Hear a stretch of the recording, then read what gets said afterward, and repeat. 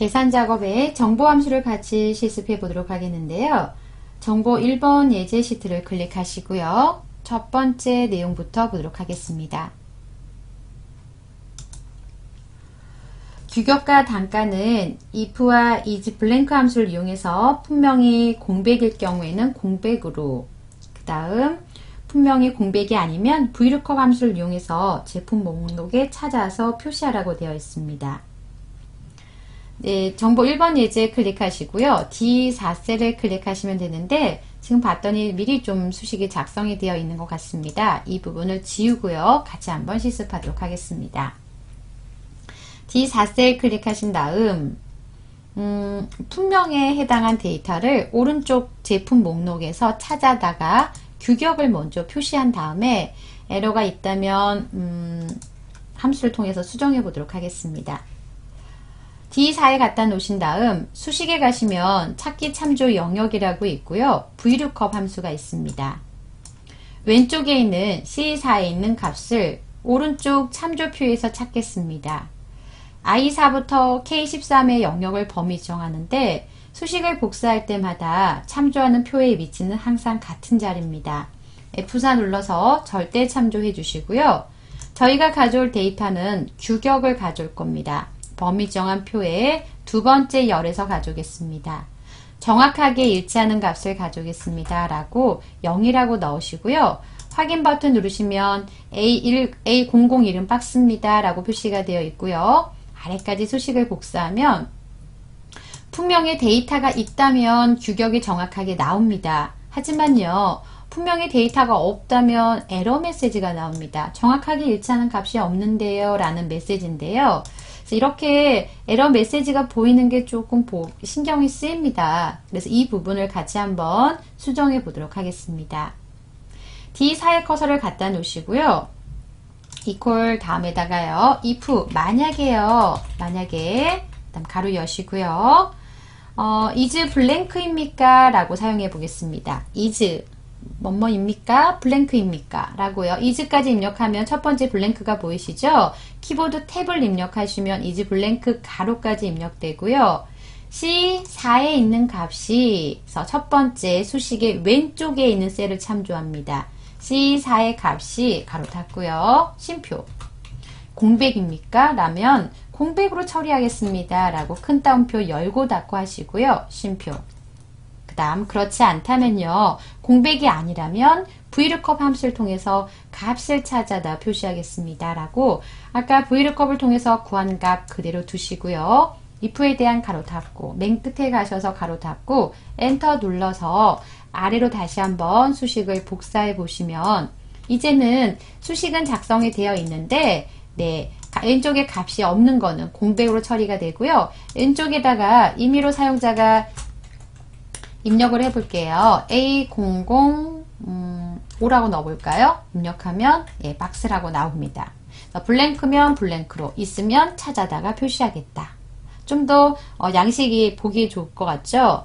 매번 수식을 입력하고 수식을 복사해서 쓰는 것보다는 함수를 통해서 좀 더 깔끔하게 처리해 놓을 수 있으실 것 같고요.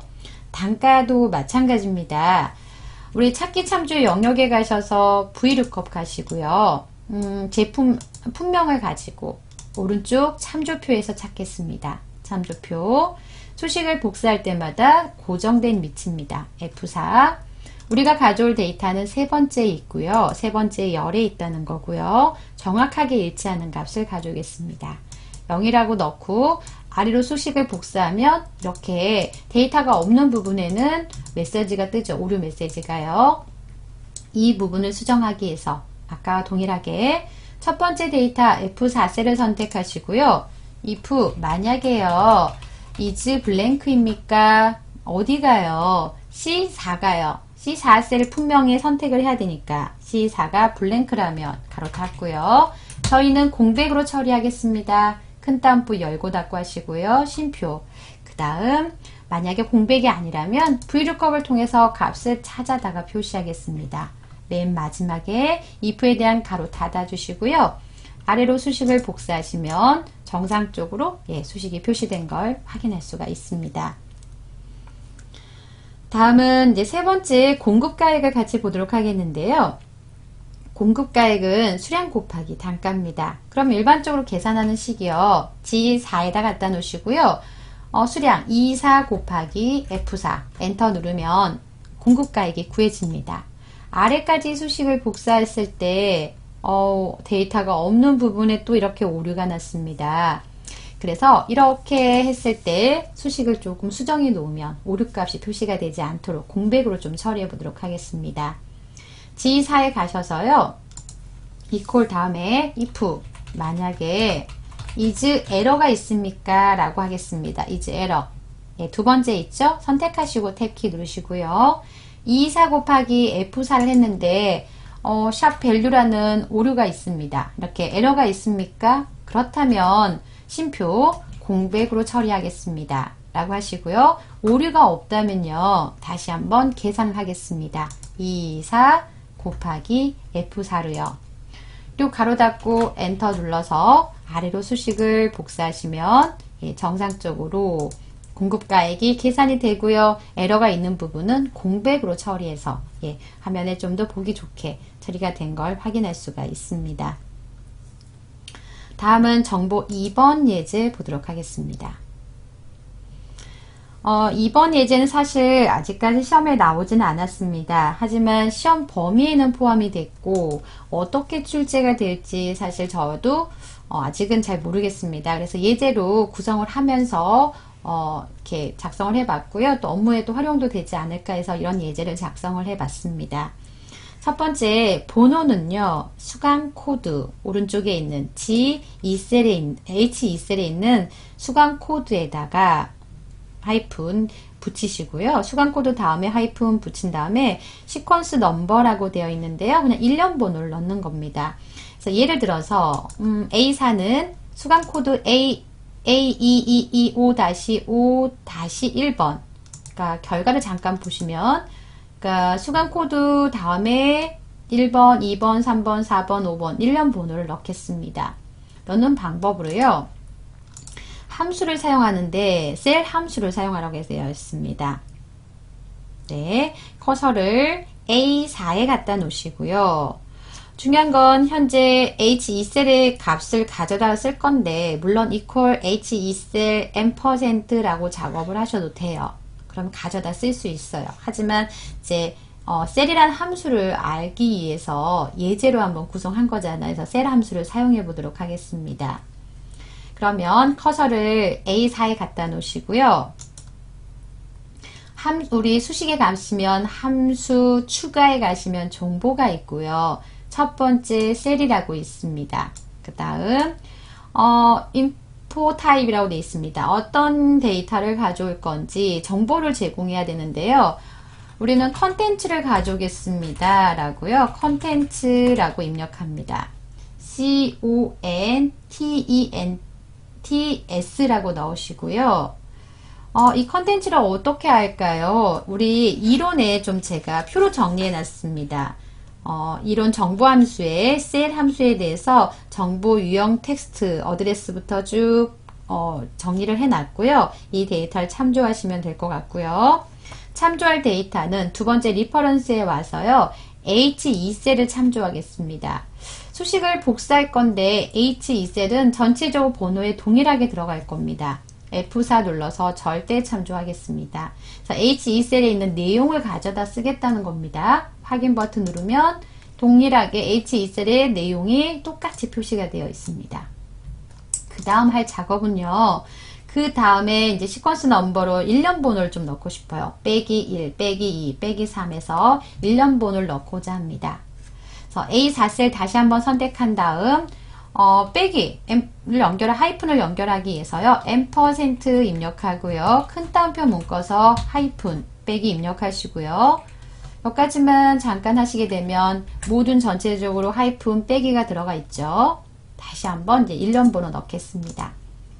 A4셀 선택하신 다음에 M%또 셀 함수를 이용하기 위해서요. 셀이라고 입력하시고요.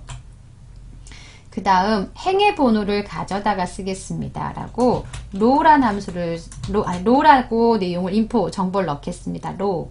큰 따옴표 묶어서 로. 그 다음 심표. 어디에 행해본을 가져오시겠습니까? A1셀. 어, 그럼 A1셀에 행해본을 가져온다면 1이라는 값을 가져올 거예요. 수식을 복사할 때마다 A2, A3, A4, A5 바뀔 수 있도록 절대 참조를 안 하면 수식을 복사할 때마다 1, 2, 3, 4라는 1년본을 가져올 수 있을 것 같고요. 가로 닫고 엔터 눌러서 아래로 수식을 복사하시면 1, 2, 3, 4 1년 번호가 들어가 있습니다. 그래서 셀 함수를 통해서요. H2셀의 내용을 가져다가 연결하겠다 하이픈 넣었고요. 그 다음 L1셀의 행해본을 가져다가 표시하겠다 라고 수식을 좀 작성해 봤습니다. 다음 D4셀에 성별을 표시하라고 했는데요. 성별은 주민등록번호 왼쪽에 있는 주민번호에서요. 여덟 번째 자리가 홀수이면 남자, 짝수이면 여자라고 표시하라고 되어 있습니다. 그래서 주민등록번호에 여덟 번째 글자 하나를 추출하기 위해서 mid가 필요할 거고요. if 함수를 통해서 홀수입니까, 짝수입니까에 해당한 값에 남녀를 구분하기 위해서 함수를 사용해 보도록 하겠습니다. 직접 D4에 갖다 놓으시고요. equal, if 만약에요. 음, 그 다음 음, 주민등록번호의 8글자를 추출하기 전에 추출한 값이 짝수입니까? 홀수입니까? 라고 물어보는 함수가 있습니다. is odd하고 is even이라는 함수가 있는데요. 우선 홀수입니까? 라고 물어보기 위해서 is odd는 선택하시고요. is odd라는 함수 선택하신 다음 가로 여시고요.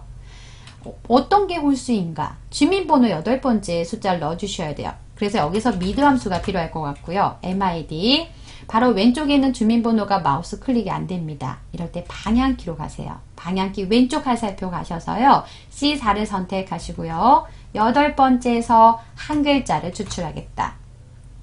자, 주민번호 여덟 번째 한 글자 추출한 값을 ISODD, isOD라는 함수를 통해서 가로 닫고요.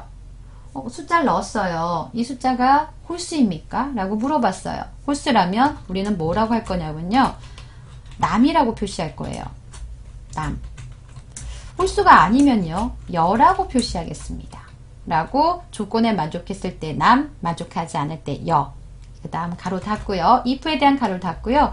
아래까지 수식을 복사하시면 성별을 표시할 수가 있습니다. 다음 세 번째 내용입니다.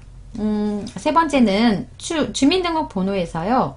홀수 연도에 태어난 주민번호의 왼쪽에 있는 두, 두 자리 숫자가요. 태어난 연도를 나타내죠.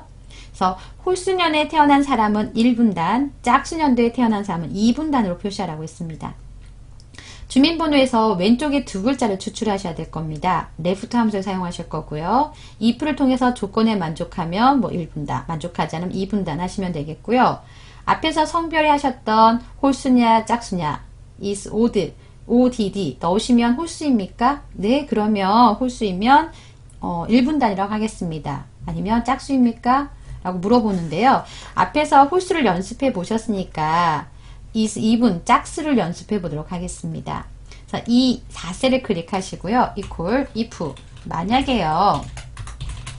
짝수입니까? 라고 물어보기 위해서 is even is-e-v-e-n 선택하시고요. 주민번호의 왼쪽에 두 글자를 추출하기 위해서 left 함수를 통해서 C4에 두 글자를 가져옵니다. 그 다음 어, 짝수입니까? 라고 물어봤던 함수에 대한 가로 닫으시고요. 심표 문제에서 짝수면 어디라겠죠? 짝수면 2분단이라고 했습니다. 그래서 조건에 만족하면 2분단 만족하지 않으면 1분단이라고 표시하겠습니다. 라고 작성하시고요. 가로 닫고 엔터 눌러서 아래로 수식을 복사해 주시면 되겠습니다. 그 다음 할인율을 보도록 하겠는데요. 할인율도 VLOOKUP과 if 함수는 아실 거고요. 음, 타입이란 함수를 실습하기 위해서 예제를 좀 구성해 봤습니다. 물론 이렇게 시험에 나온 적은 없고요. 그냥 예제로 구성한 내용이고요. 어떻게 사용되는지 한번 보도록 하겠습니다. 할인율은 왼쪽에 있는 구분을 가지고요. 아래쪽에 있는 대상자에 해당이 되면 수강료 할인이 됩니다. 할인율을 가져다가 표시를 하면 돼요. 우리가 일반적으로 알고 있는 수식을 작성해 보면 G4에 놓으시고요. 찾기 참조 영역에 VLOOKUP을 이용합니다. 왼쪽에 있는 구분 F4에 있는 데이터를 아래쪽에 가서 A16부터 B18 영역에서 찾습니다. 항상 수식을 복사하더라도 같은 위치라면 F4 눌러서 절대 참조하시고요. 우리가 가져올 데이터는 참조하는 표의 두 번째 열에서 가져올 거고 정확하게 일치하는 값을 가져오겠습니다. 라고 0을 넣고 확인을 눌렀더니 오류가 생겼습니다. 수식을 복사하면 어, 정확하게 일치하는 값이 있는 데이터는 값을 찾아왔는데요. 정확하게 일치하지 않은 값들에는 오류 메시지가 나왔습니다. 그래서 여기서 이 부분을 해결하기 위해서요. if와 타입을 좀 넣어봤습니다. 타입이란 함수도 어, 저희 교재 설명이 좀 나와 있는 이론 설명이 나와 있는데 type을 통해서 값이 숫자이면 1이 반환되고요. 이, 그러니까 vlookup을 통해서 구한 값을 타입 안에 넣었을 때 0.2, 0.1, 0.5는 숫자니까 1이라는 값을 반환할 거고요. 지금처럼 오류값이 났을 때는 오류값은 16이라는 값을 반환합니다. 그래서 이거는 이론적인 걸 참조하시면 될 것 같고요. 그래서 지금 이 예제에서는 만약에 type이라는 함수를 사용하라겠다. 그러면 숫자가 있는 곳에는 오류가 없으니까 숫자가 있는 값은 vlookup을 통해서 구한 값을 표시하고요. 숫자가 없는 그러니까 숫자가 아닌 값에다가는요. 우리 0이라는 gat을 좀 넣어서 수강료도 계산이 오류가 없어야 되니까요. 0이라는 값을 넣어서 어, 수식을 좀 수정해 보도록 하겠습니다. G4셀에 갖다 놓으시고요. if 만약에요. type type 가로 여시고요. 타입이란 함수만 입력하셔도 숫자는 1, 텍스트는 2, 논리값은 4라는 설명이 쭉 나옵니다. 타입 넣으시고요. 조금 전에 vlookup을 통해서 구한 값이요. 가로 닫으시고요. 숫자입니까? 1입니까? 라고 물어봅니다. 1이라면 조금 전에 vlookup을 통해서 구한 값을 다시 한번 범위 정해서 컨트롤 C, 컨트롤 V 합니다. 구한 값을 그대로 표시할 거고요. 어, 1이 아니에요. 그러면 오류값이었잖아요. 오류값 16입니까? 라고 물어볼 필요 없이 그냥 1이 아니에요. 숫자가 아니에요. 그러면 이 값을 0이라고 표시하겠습니다. 라고 0을 입력하신 다음 가로 닫고요. if에 대한 가로 닫고 엔터 눌러서 아래로 수식을 다시 한번 복사해 주시면요.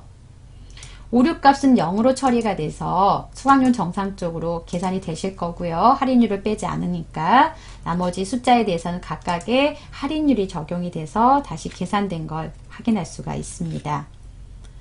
정보 2번 예제까지 살펴보셨습니다.